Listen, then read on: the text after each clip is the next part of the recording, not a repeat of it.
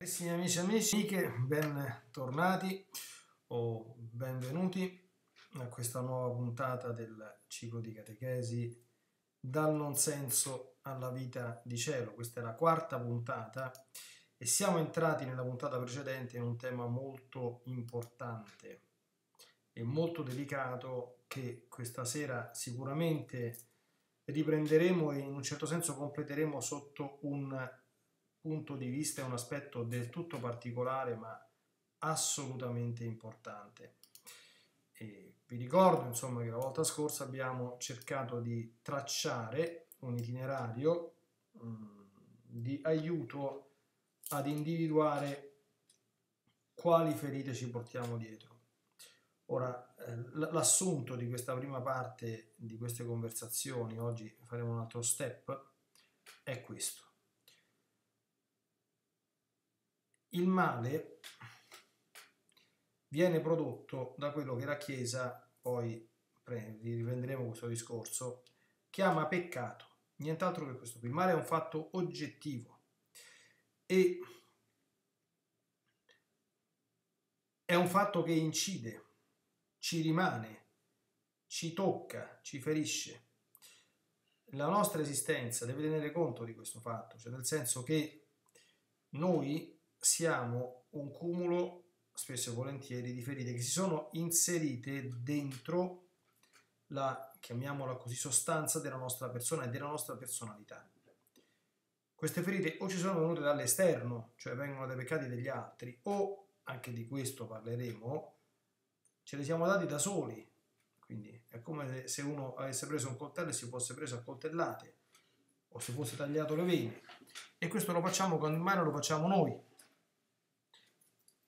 Ora attenzione che un punto fondamentale che io ho approfondito in un ciclo di catechesi parallelo a questo, che è quello del lunedì sulla sana dottrina cattolica quando abbiamo parlato del sacramento della, della penitenza, un concetto fondamentale da tenere chiaro, proprio imprescindibile, e anche su questo dobbiamo confrontarci, è questo, che il male è una cosa oggettiva. Cioè se una cosa è cattiva da un punto di vista morale in base a quello che il Signore ci ha rivelato, quella cosa sicuramente produrrà male, lascerà delle conseguenze negative e, e ordinariamente durature nella vittima, sia una vittima, diciamo così, perché uccisa, perdonatemi la metafora, non dall'esterno, sia la vittima perché si è suicidata questo è il peccato personale il nostro, è un suicidio, suicidio folle, ma lo è. Quindi la prima cosa che stiamo esaminando è il male che ci è caduto addosso e che dobbiamo assolutamente individuarlo. Perché poi vedremo che il percorso di guarigione si attua a diversi livelli. C'è un aspetto del percorso che serve a guarire le ferite che altri ci hanno inferti e vedremo qual è. C'è un percorso che serve a guarirci dalle ferite che ci siamo fatti da soli, cioè dai peccati commessi, dai suicidi. C'è un percorso di liberazione dalle nostre cattive abitudini, dai nostri vizi. C'è un percorso di educazione del nostro temperamento, vedremo, riprenderemo, chi ha sentito i vecchi cicli di catechesi sa queste distinzioni, no? La distinzione che c'è tra il temperamento e il carattere. Quindi è importante avere un quadro fondamentale.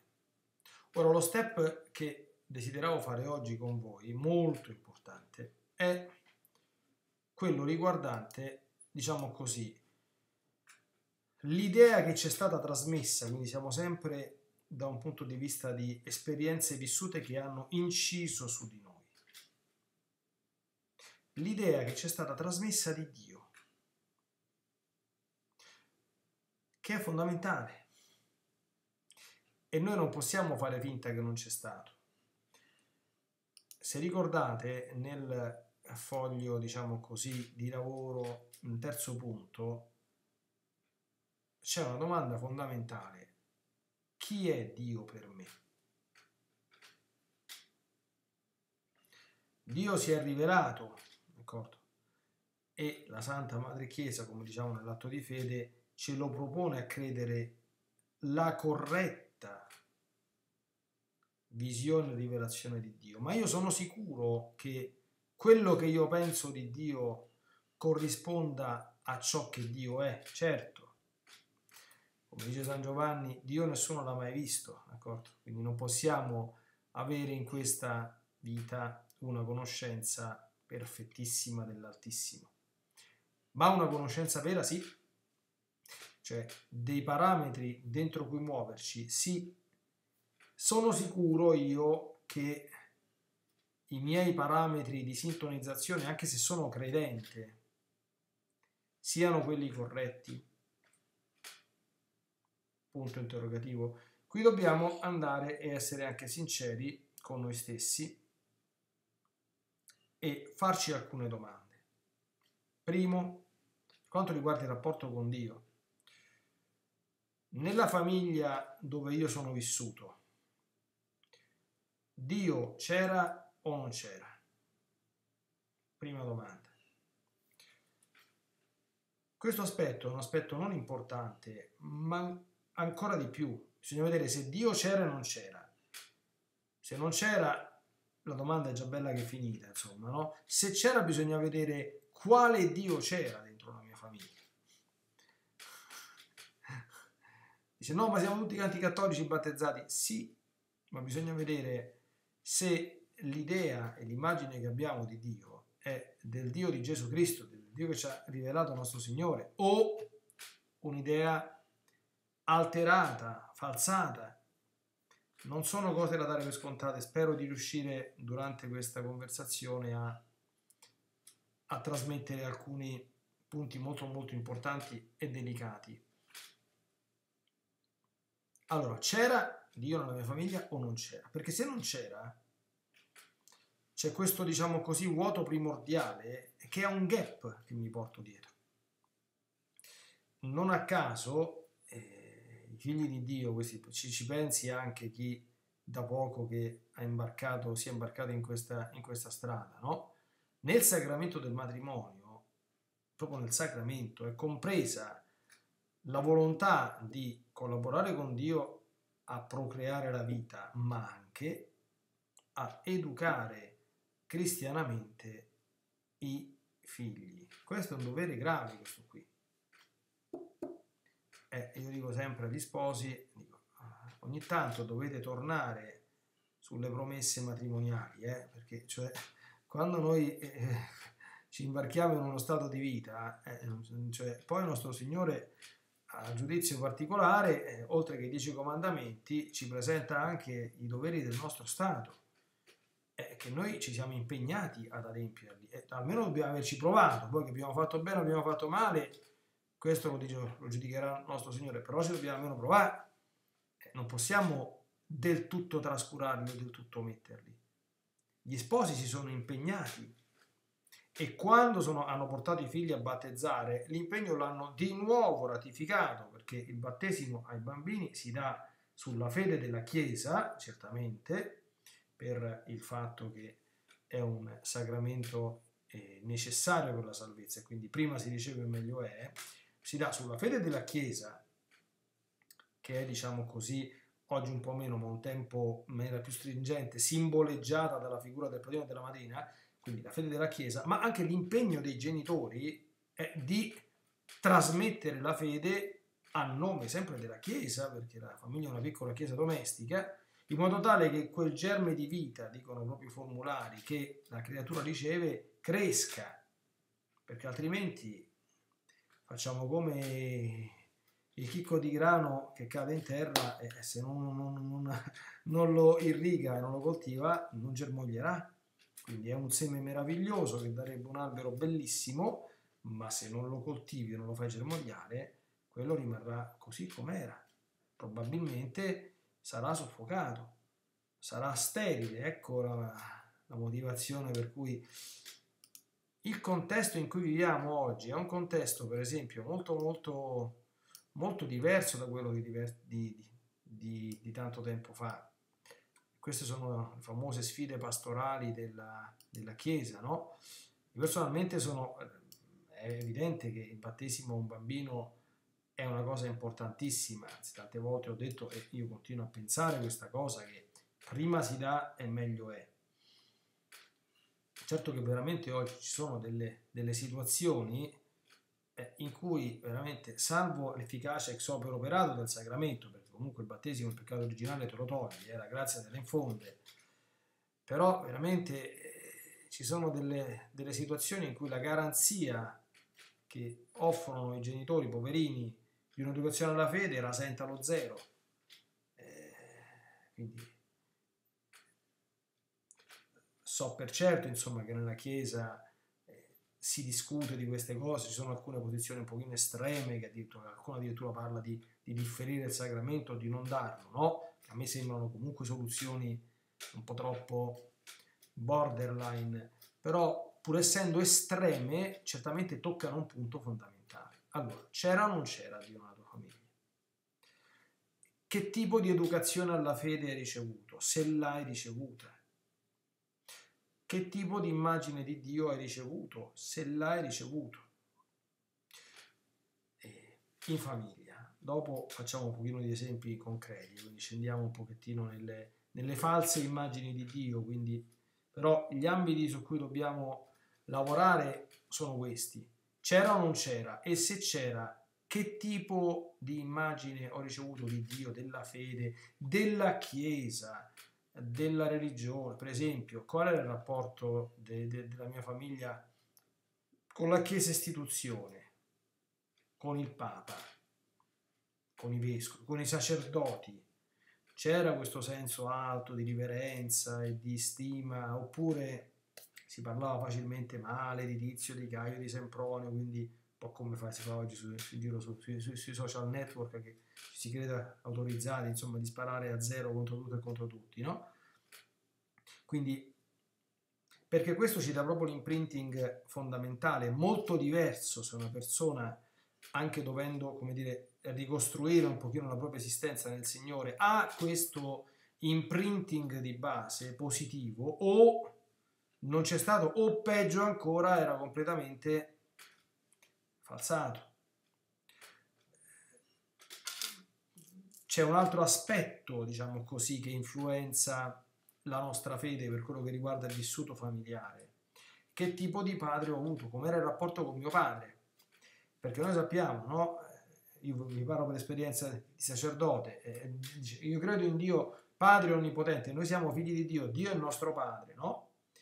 Ma se una persona ha vissuto e ha interiorizzato un rapporto pessimo con il padre, la sua idea di padre è quella relativa al padre terreno e ciò che accade ovviamente, eh, automaticamente, è la traslazione di quel tipo di rapporto nei confronti della paternità divina. Quindi l'idea di Dio Padre, cioè io non la voglio manco, la voglio manco sentire perché?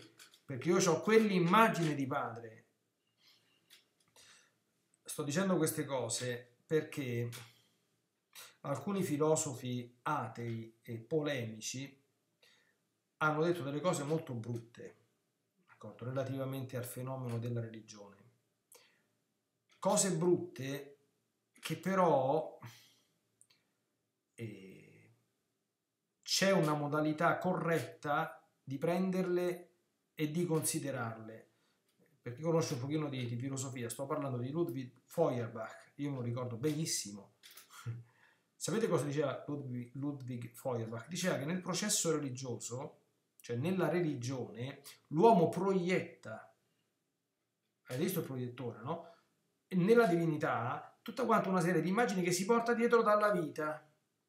Quindi la divinità non ha una sua consistenza oggettiva, ma è semplicemente una proiezione dell'uomo, che poi bisogna vedere se è falsata o se non è falsata, si può anche fare una proiezione ideale, quindi siccome l'uomo si scopre imperfetto, tu ti, ti rappresenti un qualcuno che le, non ha nessuna imperfezione quindi quello lo chiami Dio. Questo autore, molto semplificando, diceva questa cosa, che è falsa evidentemente, Dio ha un'esistenza oggettiva, però cosa c'è da prendere in considerazione? Perché anche questo capita spesso anche nelle critiche distruttive, eh, se uno ma- matura e si mette comunque in ascolto, c'è sempre qualche cosa che può edificarti, cioè nel senso, o che può esserti utile. Noi sappiamo che Dio ha una consistenza oggettiva, un'esistenza oggettiva, non è una mia creazione, non è una mia proiezione. Quello che però può succedere è che nella consistenza oggettiva di Dio io proietto le immagini che mi sono fatto di lui. Questo, questo succede come?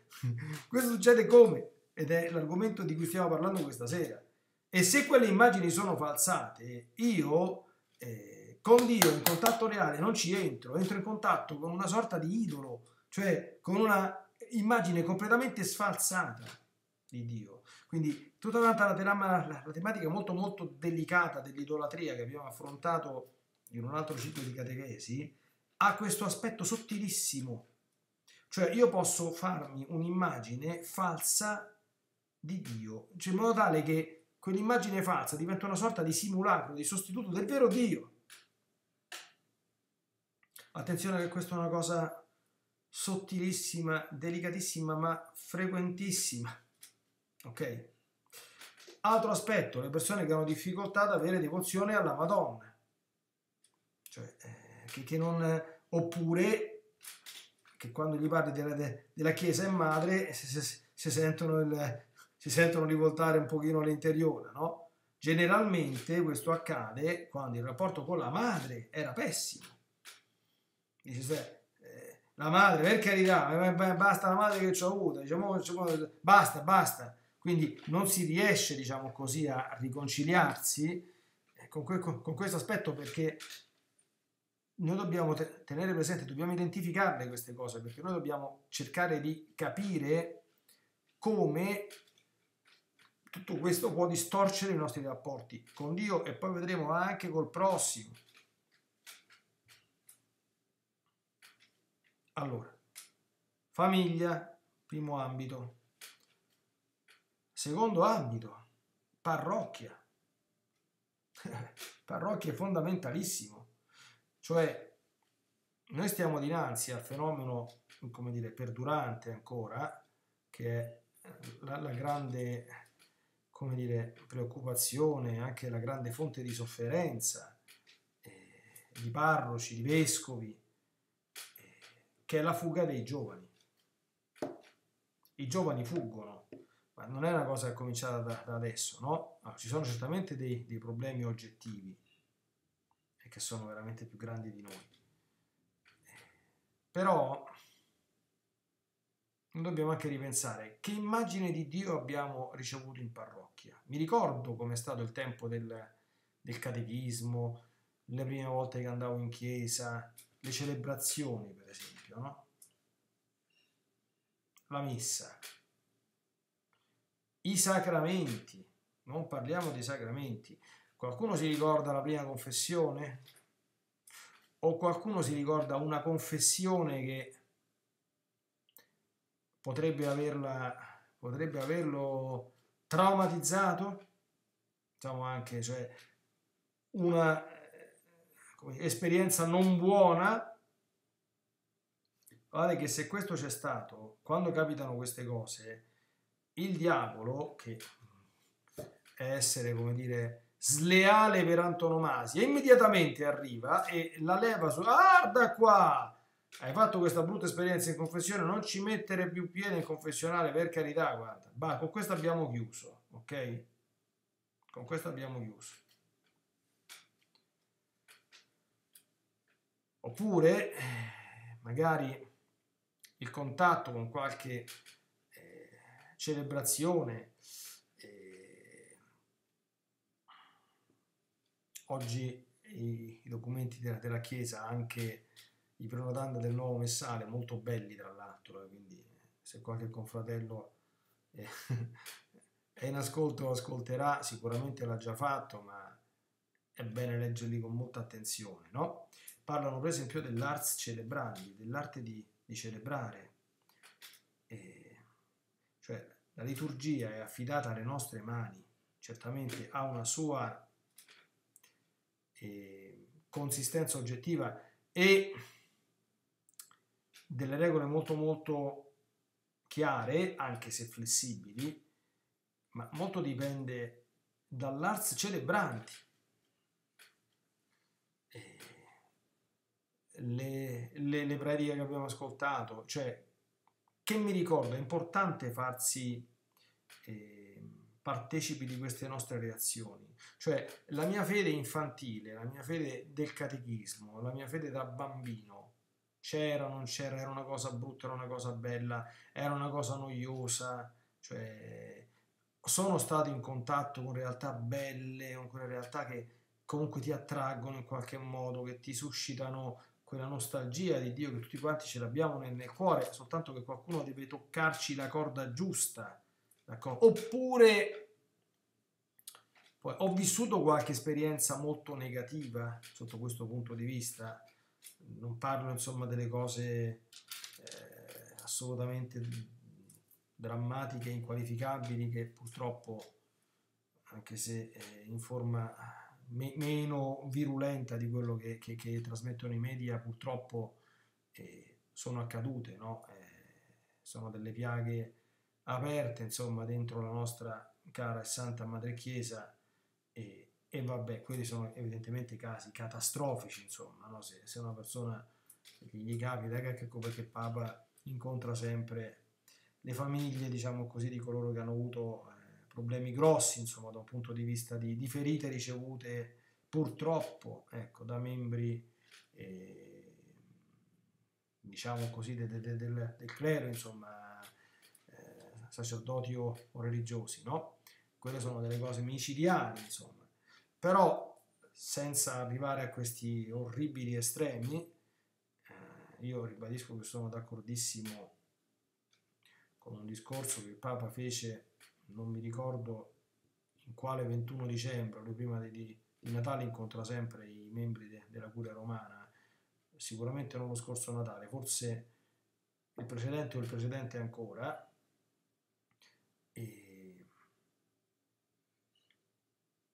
dove diceva, perché qualcuno gli diceva ed è giusto questo qui, eh, santità sì, certamente ci sono stati dedicati a tanti casi brutti, però cioè, è chiaro che c'è anche un'operazione mediatica, perché in proporzione, cioè, eh, di, di, di, tutti quanti i casi di queste cose, insomma, esistenti nel mondo, quelli addebitabili alle, agli uomini di chiesa sono una piccola percentuale ed è vero questo qui. Però proprio subito ho detto, per quanto mi riguarda, la piccola percentuale non ci dovrebbe proprio esistere, perché sono cose talmente inqualificabili che in un ministro del Signore la percentuale dovrebbe essere zero. Io sinceramente condivido, nel senso che come con San Filippo Neri dico sempre al Signore tienimi la mano sulla testa, se no Leonardo si fa turco, nel senso che eh, noi purtroppo siamo dei poveri esseri umani e se il nostro Signore ci leva dalla, dalla mano, la mano della, dalla testa possiamo insomma diventare capaci di ogni cosa. Però veramente giungere a certi estremi insomma sono proprio insomma eh, operazioni diaboliche veramente queste qui no e quindi cadere in lacci insomma di questo genere vabbè e quindi che cosa ricordo? Per esempio, uno, te la ricordi la prima confessione? Te la ricordi la prima vissuto questi eventi? Come hai vissuto nell'ambiente parrocchiale? C'è stato un momento in cui hai lasciato la fede, hai lasciato la Chiesa? Sì? E perché? Ce lo dobbiamo dire. Dice, ma adesso che, che importa? Adesso io sono tornato, dico, importa anche se sei tornato, importa, adesso lo, lo, lo vedremo perché, no? E leggerò una regola di, di Sant'Ignazio. Noi dobbiamo averle chiare queste cose. Quindi, come è stato il nostro vissuto per quello che veicola Dio e il suo mondo? È importantissimo. Perché poi noi dovremo prendere le distanze da tutti quanti gli eventuali messaggi distruttivi e negativi che ci sono venuti e che potrebbero non soltanto condizionare il nostro rapporto con Dio, potrebbero creare veramente dei, dei, dei blocchi, delle difficoltà non soltanto ad, ad, aderire a certe verità di fede, ma anche a entrare in una relazione profonda, cioè eh, il senso di questo itinerario, questo è un itinerario, io, io sono un sacerdote, insomma, no? cioè eh, la scoperta di tutte quante le ferite che abbiamo serve semplicemente a prepararci per andare poi dal medico. Il medico è Gesù, non ci sono altri medici. E ci sono poi delle modalità, come dire, per fare in modo che il medico celeste, le ha già tutte quante stabilite, possa liberamente sprigionare la sua potenza sanante su di noi. Eh, però, cioè, per fare questa operazione, cioè, bisogna essere, dire, ben attrezzati sia nella conoscenza delle piaghe, sia anche nell'essersi fatta, un'idea non distruttiva del medico. Allora, per capire il senso di questo lavoro, diciamo così, un po' forse do- doloroso di ritorno sul nostro passato, mi servo di una regola di Sant'Ignazio di Loyola, tratta dagli esercizi spirituali. Guardate che nei numeri avanzati, quindi dal 300 in poi, ci sono le cosiddette regole che lui dava e si chiamano generalmente regole per riconoscere gli spiriti. Sono di una sapienza assolutamente straordinaria e andrebbero conosciute e meditate da parte di molti, perché se fossero conosciute, meditate e messe in pratica ci risparmieremmo molte stupidaggini e molti guai che commettiamo. Allora, la sesta regola, il paragrafo 334, per chi avesse o comperasse insomma il testo degli esercizi spirituali di Sant'Ignazio, dice queste parole. Quando il nemico della natura umana viene scoperto e riconosciuto per la sua coda serpentina e per il fine cattivo a cui spinge o ci ha spinto, colui che è stato tentato farà bene a esaminare subito il corso dei pensieri buoni all'inizio da lui suggeriti e considerare come il demonio a poco a poco abbia cercato di farlo discendere dalla sua vita e dalla gioia spirituale in cui si trovava fino ad attirarlo al suo disegno perverso. Così tenendo conto di questa esperienza, potrà guardarsi dai suoi soliti inganni. C'è un proverbio che dice Historia magistra vite. Se io riesco a focalizzare bene quello che ho vissuto e quello che è successo e le reazioni che ho avuto, e se sono ancora più bravo anche le tappe che mi hanno portato ad una certa reazione,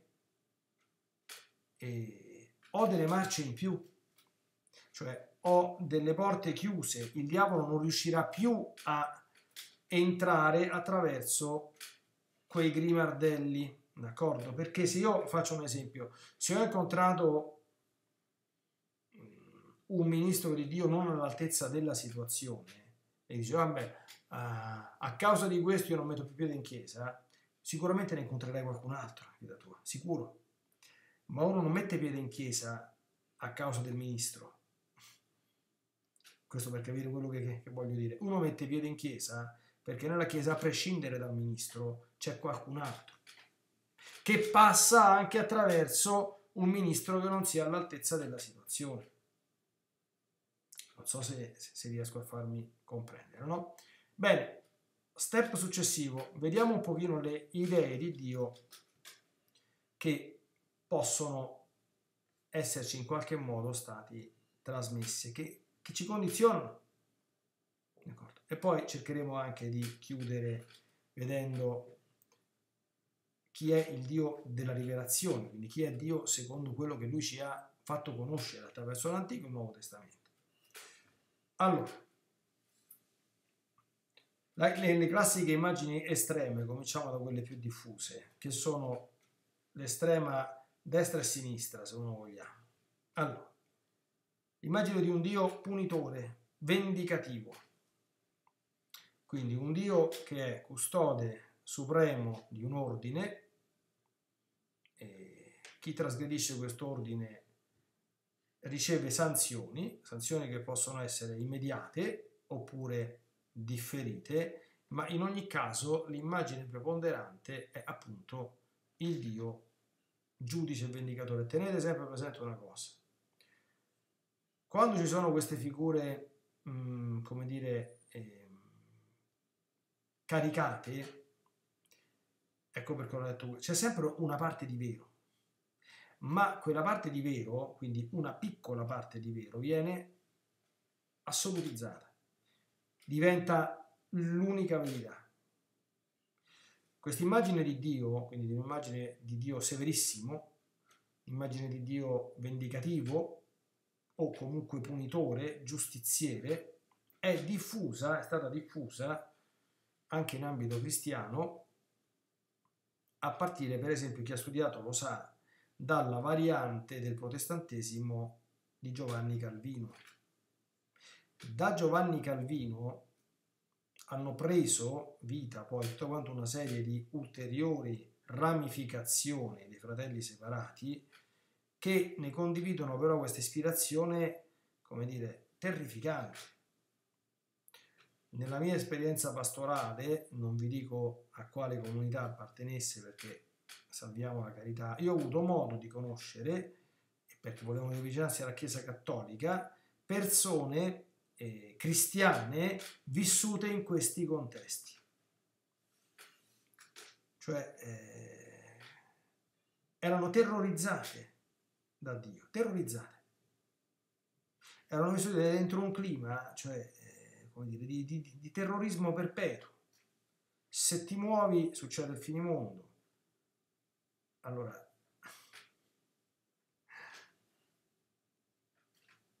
diciamo, questa immagine può aver caratterizzato certamente un po' più che altro tempi obsoleti. Oggi, come dire, io la vedo molto molto in via di estinzione.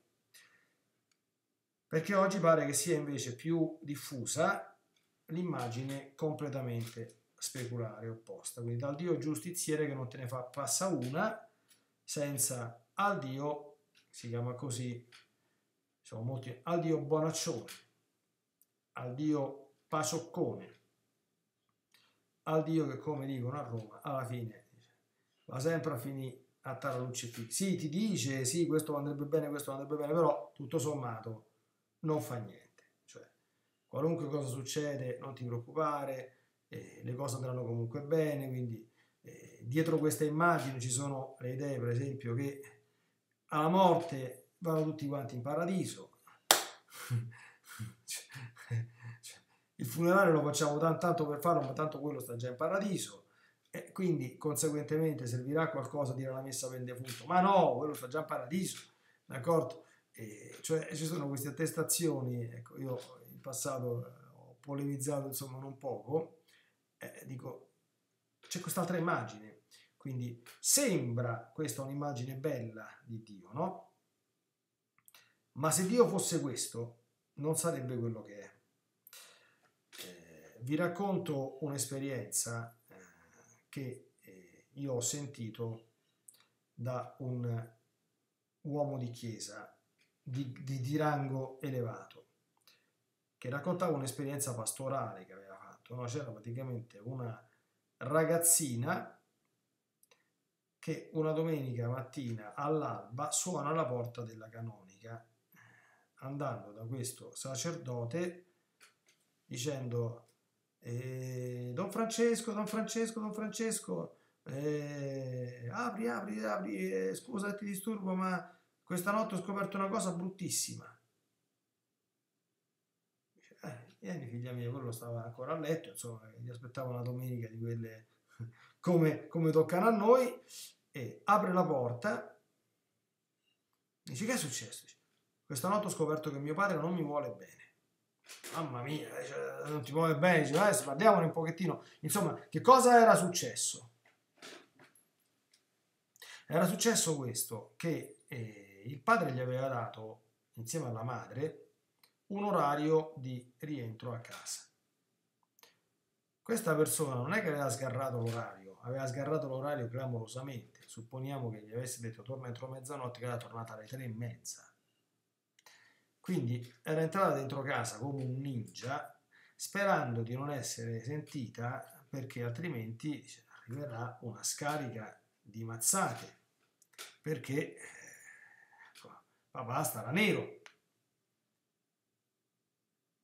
E che succede? Lei entra quatta quatta, a un certo punto era quasi arrivata a dama e sente dei passi, dice, oddio, chi è adesso? Era il padre. Allora lei si prepara a ricevere la ramanzina e forse anche altro. Il padre guarda l'orologio e dice non ti sembra un po' tardi? Vabbè, va.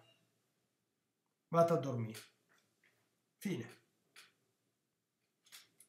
La ragazzina, da questa reazione del padre, interiorizza messaggio di me a mio padre non mi importa nulla. Mio padre non mi vuole bene. Dice, ma come? Anziché menate, anziché punirti, non ho trovato niente, ha manifestato semplicemente un disinteresse, gli sarebbe potuto succedere chissà che cosa, ma tanto qualunque cosa, qualunque cosa accade va tutto bene. Non ti vuole bene una persona, non percepisci l'amore.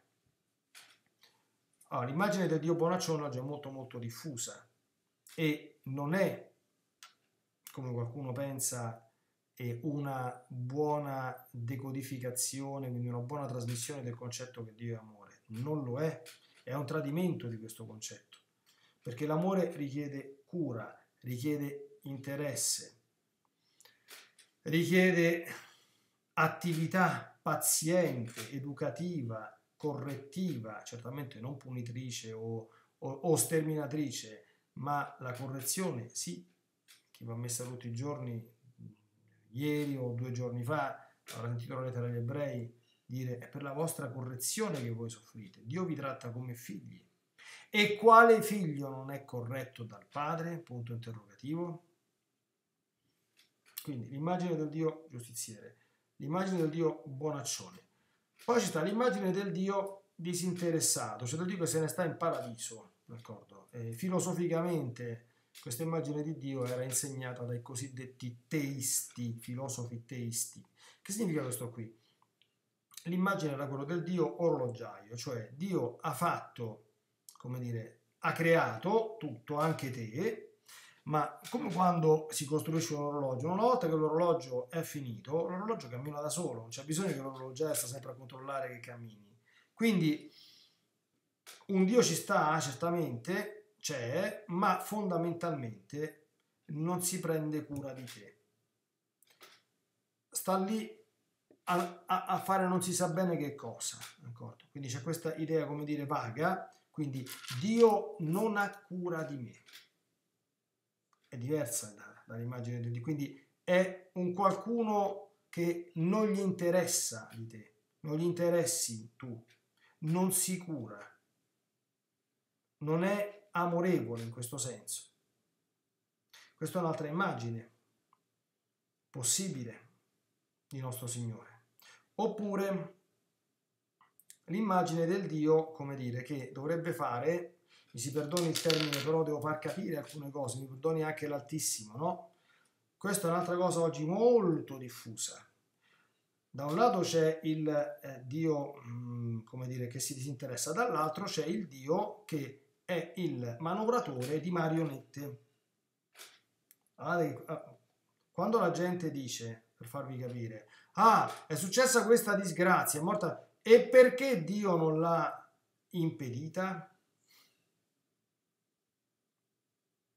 Allora, l'immagine, del, cioè, c'è l'immagine estrema, cioè di Dio che non se ne importa assolutamente nulla, e poi c'è l'immagine di, di un Dio che secondo questa immagine sarebbe veramente come il manovratore delle marionette, quindi non esistono, come dire, eh, dinamiche attribuibili alle cause seconde, alla libertà, che certamente il Signore eh, controlla, nel senso che tutto è sotto quanto la, il, il, suo controllo, ma non è manovrato come una marionetta, d'accordo? Per cui se, faccio un esempio, un povero giovanotto, come dire, eh, che cosa fa un, un, una sera, no?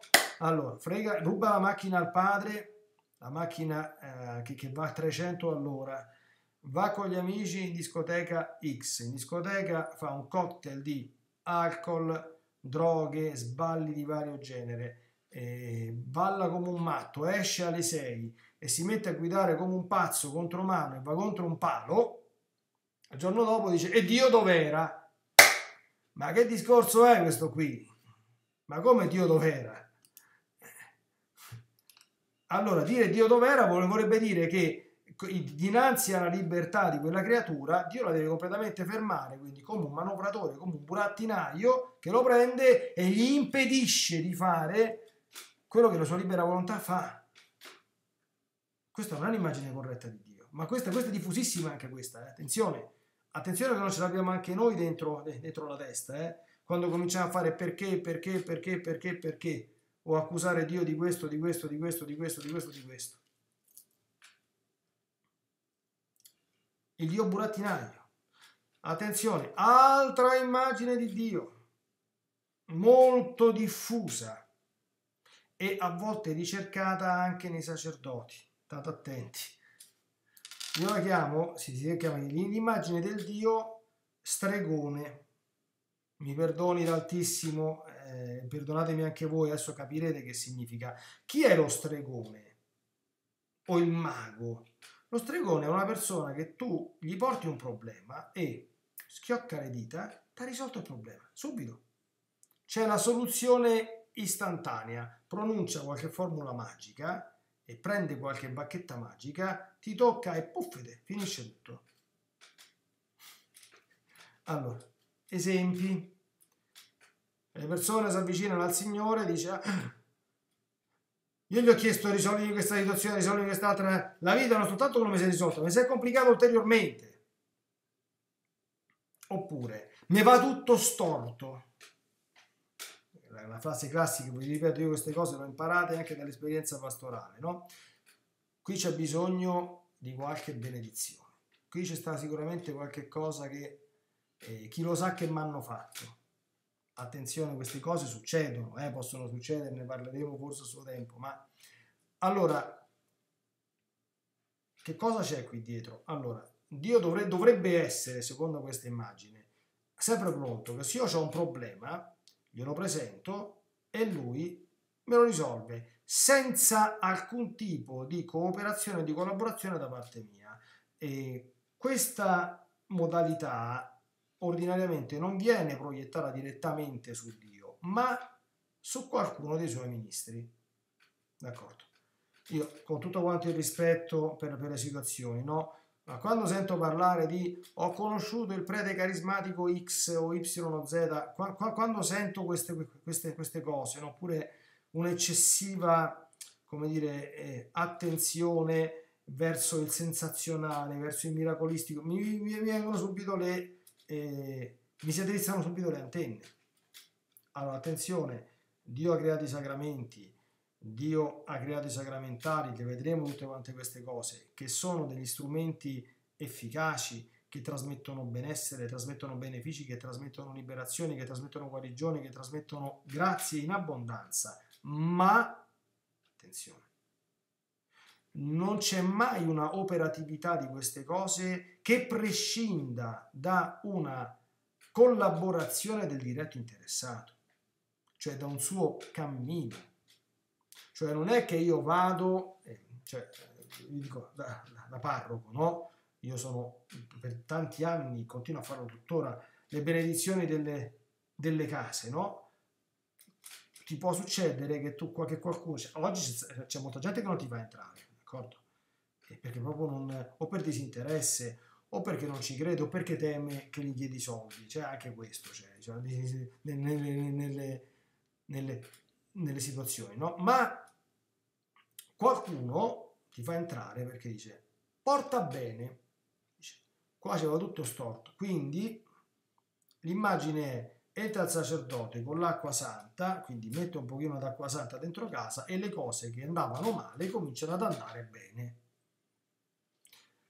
Queste, diciamo così, eh, forme mh, mm, infantili ma molto diffuse purtroppo di religiosità hanno causato poi delle reazioni opposte, nel senso che è chiaro che se una persona intelligente, un ministro, Dio vede queste cose qui e le deve combattere, può assumere degli atteggiamenti troppo in senso contrario, nel senso che elimina tutte quante le forme e i modi che possano ingenerare questa mentalità, comprese quelle buone.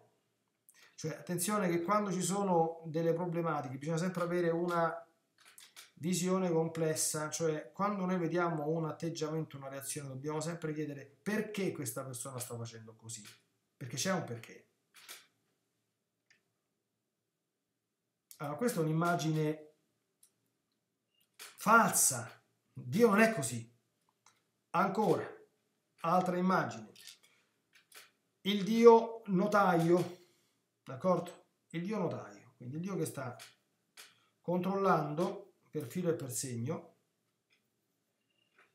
e tutto quello che fai, ma lo sta controllando, ripeto, eh, Dio ci sta controllando, cioè Dio ci guarda in continuazione, Dio è sempre con noi, ma che tipo di percezione ho di questa onniscienza, onnipresenza di Dio? Quindi è una presenza amica, amorevole, che cerca di guidarmi, di incanalarmi verso il bene o che sta a controllarmi, d'accordo? A controllarmi perché mi deve controllare, no? Non si sente controllato. È brutta questa, questa, questa, questa immagine perché chi ce l'ha, anche nei confronti delle cose belle, delle cose di fede, eccetera, eccetera, non le vive bene, ma le vive con, eh, come dire, con, la, con l'intenzione di timbrare il cartellino. Ho fatto quello che devo. Le persone che vanno a messa per abitudine, d'accordo? O per tradizione. Cioè, ho, ho fatto il mio dovere, ho, ho, ho adempiuto il progetto pasquale, e ho fatto quello che dovevo fare, e ho fatto la confessione di Pasqua, quindi ho adempiuto i cinque precetti generali della Chiesa, li vivo tutti quanti, però poi non mi chiedere nient'altro. Allora, è un'idea molto limitata e limitante di Dio, perché Dio non è che, non è che sta a fare il nostro controllore, cioè tutto quello che Dio vuole da noi e quello che ci chiede è per il nostro bene, non è un controllore. Allora, queste sono soltanto alcune delle immagini falsate di Dio. Ecco, cosa ci dice la rivelazione? La rivelazione ci dice una cosa molto semplice. San Giovanni ha dato la, la definizione corretta. Ci dice che Dio è amore. Quindi tutto quello che Dio è, tutto quello che Dio fa e tutto quello che Dio permette è sempre, dovunque e comunque mosso dal suo amore. D'accordo? Io ci sono perché? Perché io sono un atto del suo amore. La creazione di un'anima è un traboccare fuori di sé di un atto creativo e amorevole di Dio. Tu, se tu hai questa immagine di Dio, il fatto che tu ci sia è la prova, solo l'esserci è la prova inconfutabile del tuo valore unico davanti agli occhi del Signore, della tua, come dire, del tuo valore intrinseco, della tua bellezza intrinseca. Dici, ma come fai a dire così, Leonardo? Io sono un mostro, cioè io non sono quello, cioè non, non mi sento così. Allora, se tu interiorizzi questa idea di Dio, ed è questo il senso di quello che, che, che stiamo facendo, noi vedremo in questo itinerario che la stragrande maggioranza degli esseri umani vive in una condizione, in una posizione che non la sua. Gli psicologi lo chiamano il falso sé, d'accordo? Ma tutti quanti noi stiamo nella menzogna, stiamo. Tu, io, in sé sei una cosa meravigliosa, bellissima. Tutto quello che gira intorno a te, la tua famiglia così come, così come è stata, il tuo ambiente di lavoro così come è stato, la tua scuola, comprese le esperienze negative, tutto quello che ti si muove intorno è sempre dovunque un atto d'amore. La volta scorsa citato Don Fabio Rosini, nel suo libro che ho citato la, volta scorsa, dice è un, un atto d'amore. E se vado a finire in ospedale, in quel libro si dice, se vai a finire in ospedale, è un atto d'amore e chi parla, caro Don Fabio, povero Don Fabio, parla per esperienza personale, perché Don Fabio ci è andato a finire in ospedale, non ne fa un mistero, lo racconta continuamente davanti a tutti, per dei problemi molto seri, molto gravi.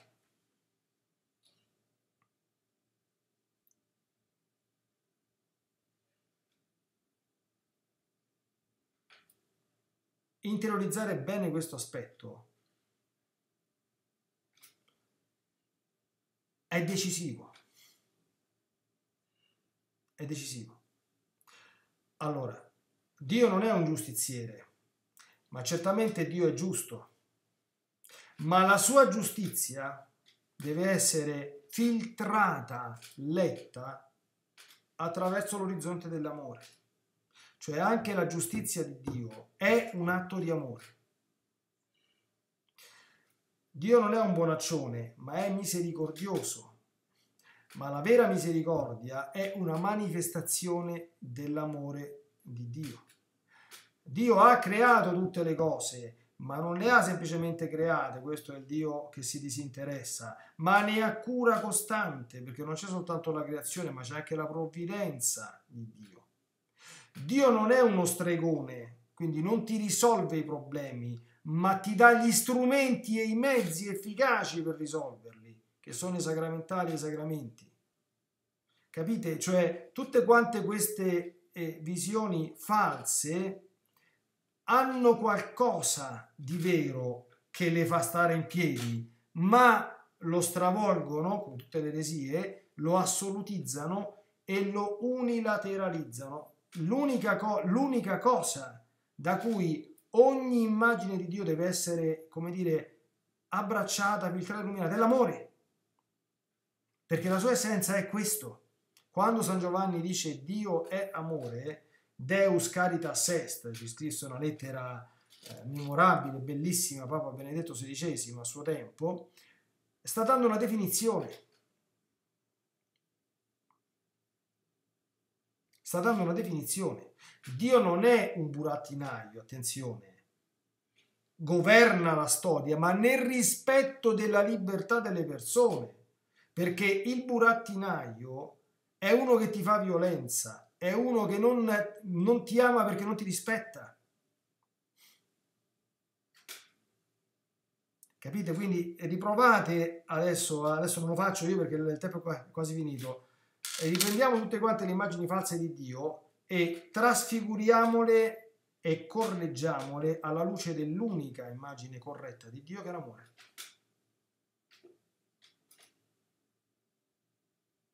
E perché ciascuna di queste unilateralizzazioni estreme e folli contiene qualcosa.